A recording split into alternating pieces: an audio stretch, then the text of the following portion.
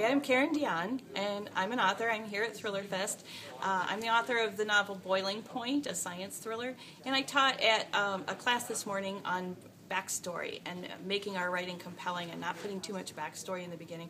It was a fun experience. The, the class was very engaged and they offered a lot of great comments on the examples that we looked at. And what I really love about teaching here at ThrillerFest is because I know many of these authors are going to be, go on to become published and it's really exciting to have had a part in the beginning of, of their career.